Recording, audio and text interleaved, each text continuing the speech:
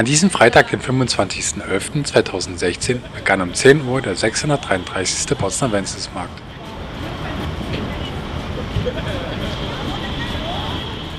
Das Kulturprogramm startete am Abend mit dem mittelalterlichen Markttreiben vom Budisiner Marktgesinde, dem Empfang von König Wenzel und dem Anzünden der Lichter des Weihnachtsbaumes. Keine Zeit mehr ansagen.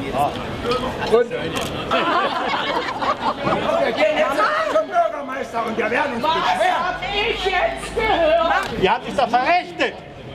Kreisverkehr. Mir langt das schon, wenn Sie im Schloss bei mir im Kreis laufen. Am Sonntag wird der Weihnachtsmarkt traditionell mit dem Stollenanschnitt vom Oberbürgermeister Alexander Ahrens eröffnet. So befehlen wir.